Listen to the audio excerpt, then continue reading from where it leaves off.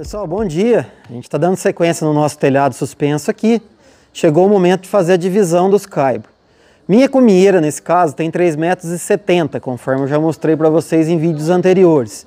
E para eu fazer essa primeira divisão, é importante que eu tenha noção de como que eu vou fazer e por quantos caibros que eu vou fazer. Qual que é a situação? Geralmente eu trabalho com 50 centímetros para menos de eixo. Nesse caso aqui eu dividi 3,70 metros por 8, eu cheguei num espaçamento de 46,25. Porém, eu tenho que ter consciência de que essa divisão é eixo. Sendo assim, eu tenho que sempre fazer a marcação e depois colocar a medida do meu caibro. Vamos supor que o caibro tenha 5 centímetros, 2,5 para cada lado. E aí fica feita a divisão exata das faces do caibro. Só que fica uma divisão mais exata, eu partindo da cumieira. Até eu vou exemplificar isso para vocês através dessa peça aqui, ó. Como o espigão lá em cima é um pouco mais difícil para a gente poder estar tá gravando, a gente vai representar a nossa cumieira aqui por esse caibro aqui de 5 por 15 que a gente vai estar tá usando no telhado. Vamos imaginar que esse daqui é o eixo, o encontro da cumieira que vem daqui com os dois espigões. Isso como se fosse uma linha. Depois a gente tem a distribuição de espessura de madeira. Se eu fosse trabalhar com caibro saindo centralizado, então seria um aqui, outro virando pela frente e outro do lado de cá. Só que eu não gosto porque acaba sendo difícil de fazer o encaixe aqui no topo do espigão e eu acho que é mais trabalhoso. Como que eu gosto de fazer a divisão minha? Avançando o primeiro caibo que dá no espigão e virando ele aqui de forma que fique o espaço sem precisar encaixar o caibo na cumieira. O que, que eu vou ter que fazer? Eu vou pegar o 46 e 2, até tenho aqui um gabarito que eu já fiz, e vou dividir. Sendo assim, eu vou ter 23 e 1 para cada lado. Ó. Isso daqui é o eixo do meu primeiro caibo lá no espigão, lá em cima. Do outro lado a mesma coisa. Agora a gente vai transferir essa marcação lá para o local e começar a colocação dos nossos caibros. Lembrando que eu vou usar caibro de 5 por 15 e é importante que eu tenha esse distanciamento de 50 centímetros para menos de eixo entre os caibros, até em questão de resistência do forro. Às vezes o pessoal espaça mais os caibros e acaba perdendo resistência no forro, a madeira do forro acaba movimentando e isso não é legal para o trabalho. Então uma coisa depende da outra. Eu vou espaçar meus caibros conforme a resistência que meu forro me proporciona. Eu vou espaçar meus caibros conforme a resistência que eu vou precisar dele para receber a carga da telha. Tudo depende uma coisa da outra. É sempre assim o telhado. Sempre que você vai dimensionar as madeiras, um dimensionamento depende do outro, seja da ripa, do caibro, das vigas, dos espigões. Então é sempre pensando à frente, isso é muito importante. Essa daqui ó, é a marcação do eixo do meu telhado. A gente fez essa marcação lá no começo do serviço, quando a gente estava distribuindo o ponto do espigão. Dessa marcação aqui, ó, eu vou avançar os 23 e 1. Marquei aqui, ó. Agora desse ponto tá molhado aqui por conta do sereno, viu pessoal? Chegou o inverno aqui, daqui para frente cedo a madeira fica sempre dessa forma. Desse ponto aqui agora eu tenho que distribuir a medida do meu caibro. Meu caibro tem 4,5. Vou distribuir aqui 2,25 para cada lado aqui, ó. Então aqui já está marcado o ponto do meu primeiro caibro.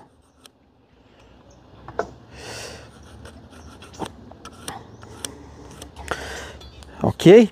Para eu marcar agora esse ponto aqui lá em cima e trabalhar com o meu caibo esquadrejado, eu vou pegar uma régua e vou gabaritar de lá, daqui lá, e aí eu consigo pegar a medida na trena no espigão desse eixo aqui. Aqui em cima, ó, eu tenho o eixo do meu espigão, conforme a gente marcou lá no início. Se eu fosse trabalhar com o meu caibro centralizado aqui por esse eixo, era só distribuir aqui 2,5 para cada lado, já teria o ponto do nosso primeiro caibro. Porém, eu não gosto em razão desse topo aqui, ó, que eu acho que acaba sendo mais complicado de fazer o encaixe do primeiro caibro. Então é uma preferência minha. Por isso eu vou colocar a régua aqui no eixo, conforme a gente fez lá na parte de baixo, e aí eu vou avançar 23 e 1 e vou pegar o eixo do meu caibro aqui na face do espigão, saindo com o caibro tanto de um lado quanto do outro. Eu dei o exemplo da régua aqui, porém se a pessoa tiver dúvida ou não tiver uma régua na mão, estica uma linha Se tiver dúvida do eixo do espigão ali, ela pode pegar uma linha nível e descer o plumo de centro e conferir se está batendo o eixo. Então são várias técnicas de trabalho que é possível ser feito nessa situação. Pego a face aqui que seria o alinhamento do eixo do meu primeiro caibo ali, jogo 23 e 1 aqui, ó. Esse 23 e 1 é o eixo do meu caibo. Eu vou vir com o esquadro aqui, ó, riscar em 45. E assim como a gente fez lá na parte de baixo, eu vou distribuir 2,25 para cada lado, considerando os 4,5, que é a espessura do meu caibo.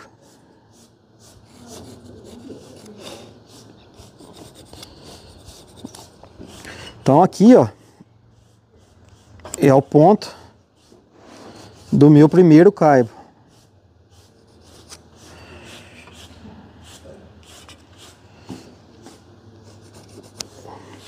Nesse ponto aqui.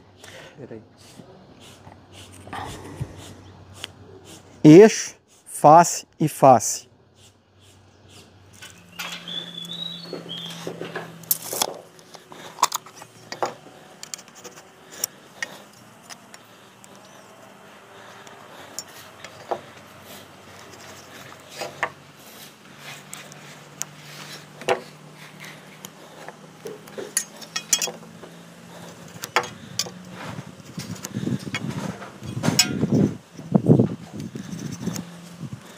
Fizemos uma marcação aqui eu fiz questão de colocar a linha, pra gente, porque às vezes a gente fala e a pessoa às vezes acaba não entendendo. Quando a gente fala de eixo, de colocar régua, colocar linha. E a minha preocupação é sempre essa, de tentar exemplificar o máximo possível para que vocês entendam. E eu preciso muito do feedback de vocês sobre isso. Se o vídeo está sendo claro, se o vídeo está sendo, se o vídeo está sendo possível de se entender. Porque às vezes a gente usa uma linguagem e as pessoas não entendem. Então, de nada vale o vídeo. A nossa intenção é levar o nosso dia a dia de trabalho, mostrar as nossas técnicas e ajudar vocês a realizarem os seus trabalhos. Fiz as marcações, virei o eixo, então eu já tenho a medida da parte da frente aqui também. E agora uma coisa que eu preciso ter atenção antes de começar a colocação dos caibros é no alinhamento dos espigões. Nesse caso eu tenho uma pequena curva, então eu vou travar uma catraca aqui e eu vou alinhar esse espigão de forma relativamente fácil. Porém, é importante que você faça esse alinhamento antes da colocação dos caibros, porque senão o caibro vai dificultar você alinhar o espigão. Em relação à medida da peça, existem várias formas de pegar essa medida. Porém, eu preciso pegar ou face de dentro ou face de fora. Nesse caso aqui, eu sempre prefiro pegar a face de dentro. Então eu vou usar a ripa aqui, ó. Venho com ela aqui, ó. Marco o tamanho do meu caibro encosto lá embaixo na onde vai encaixar o nosso caibo e eu tenho a medida exata dessa peça de caibo. Então isso também é um detalhe simples, pode ser feito com a trena também, também dá certo. Lembrando sempre que um milímetro a mais, um milímetro a menos é sempre aceitável, a gente tem que levar isso em consideração. Às vezes eu corto meu caibro, o corte fica bacana, fica bem encaixado, porém ele fica um, dois milímetros maior. Eu não vou cortar novamente o caibro ou vou fazer um ajuste em razão disso a gente tem essa margem de tolerância que eu acho que é sempre importante a gente estar tá falando aqui.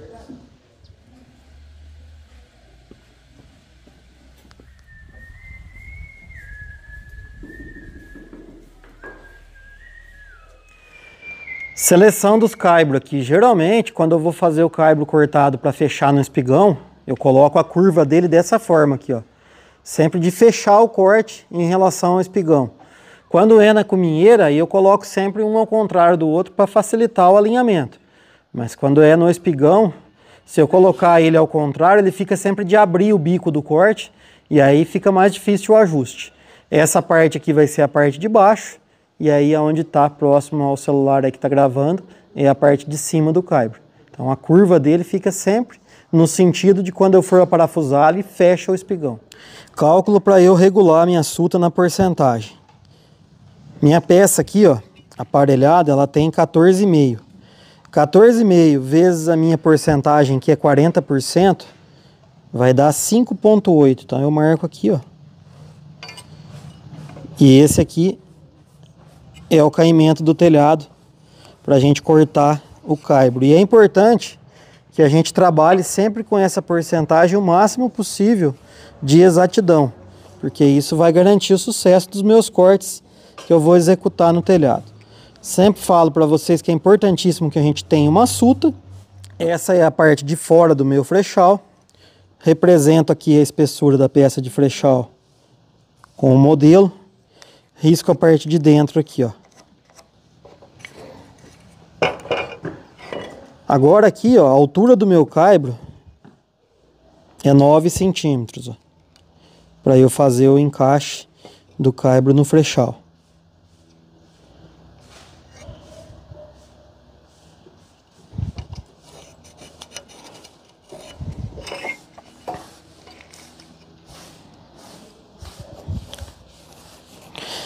Esses 9 centímetros tanto aqui no caibro como no espigão, eu sempre meço ele em 90 graus em relação à peça.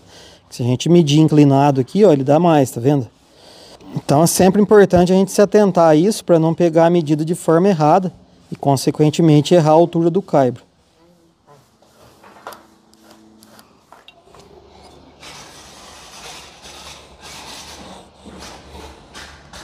Uma forma aqui de eu conferir a minha porcentagem é essa daqui, ó riscar 90 graus, marcar 10 centímetros aqui, 10 centímetros aqui. Como a minha porcentagem é 40%, ó, tem que dar 4 centímetros aqui, ó. Então isso significa que o meu carbo está riscado na porcentagem exata de 40%. Agora com a ripa que a gente marcou o tamanho lá na parte de cima, eu saio daqui, ó, do lado de dentro, como se fosse a quina do meu frechal ali. E aí aqui eu marco a parte de cima. O corte da sulta aqui é o mesmo corte que a gente encontrou lá na parte de baixo. Então o corte que desce do caibro é esse aqui, ó. E aí eu corto aqui, ó, aumentando a minha esquadria, ó. Vou entrar com a serra daqui para lá, fazendo o corte de esquadria.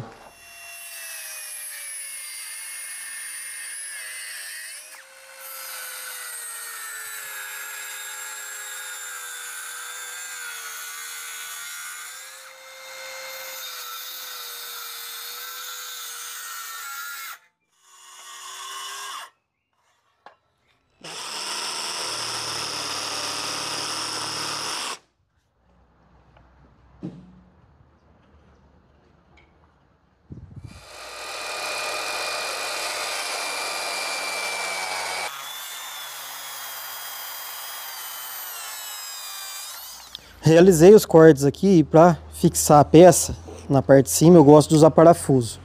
Nesse caso, o parafuso que eu geralmente uso é o 6070 Phillips.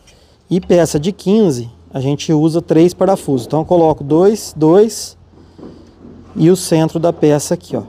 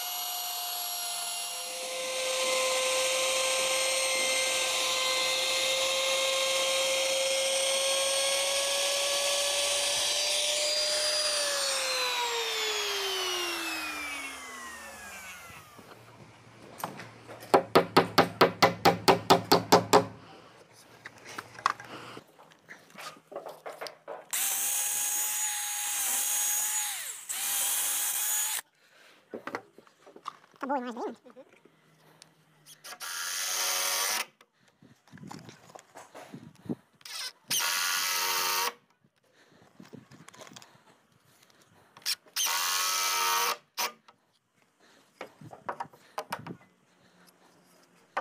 Eu deixei passando essa ponta de caibro para trabalhar com tijolo menor, fazendo o fechamento aqui onde vai ter a calha da divisa.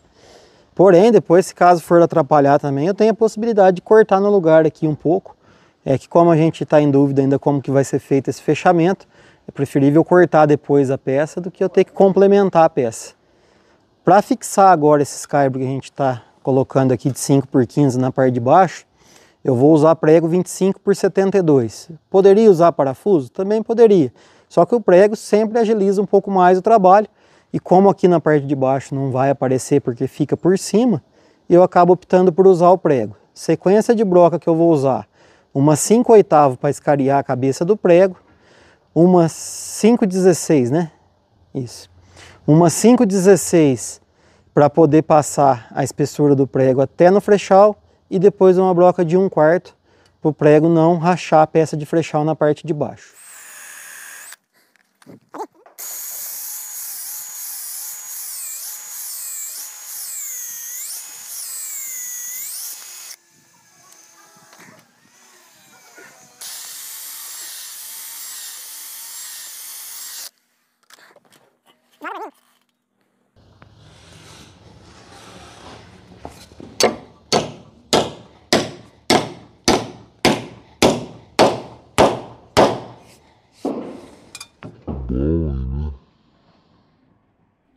Talvez o pessoal tenha dúvida por qual razão a gente está usando o caibro 5 por 15.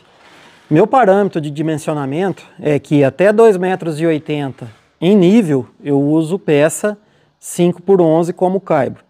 Como aqui eu tenho 5,80, o meio da 2,90, eu estou trabalhando já com caibro 5 por 15.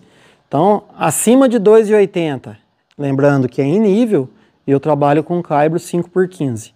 Tá joia?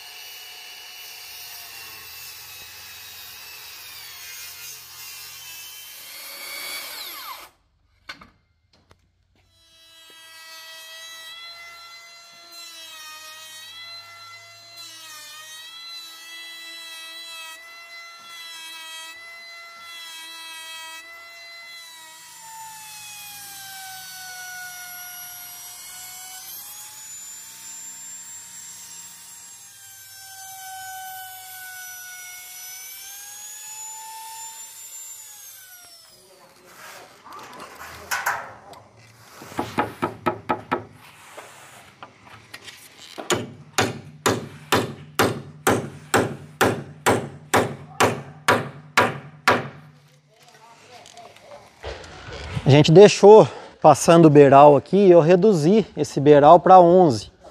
Por qual razão que eu fiz dessa forma? Para seguir o telhado lá de cima, que a gente usou peça 5 por 11. Então o beiral já fica acompanhando. E a tábua de acabamento que eu vou usar, ela cobre o topo da peça de 11. Então por essa razão que eu rebaixei a peça na parte que sai o beiral pelo lado de fora com, com 11. Então fica acompanhando e eu uso a mesma medida de tabeira isso garante um, um pouco de padrão de trabalho. Daqui para cima eu preciso do caibo de 15 para poder ter resistência, porém no beiral eu posso fazer dessa forma buscando sempre um melhor acabamento.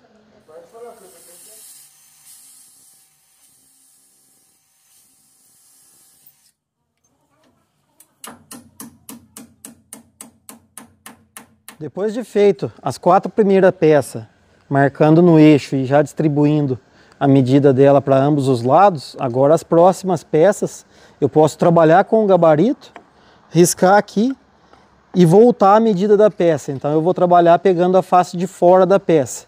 Porém, a medida de eixo ela continua sempre a mesma. Então a minha peça pega daqui para dentro, lá no espigão eu faço a mesma medida, a mesma marcação, utilizando o gabarito. E aí quando eu tirar a medida de eixo a eixo da peça daqui, no eixo dessa peça aqui, vai ser a mesma medida que a gente tinha feito a divisão, só muda o posicionamento de marcação.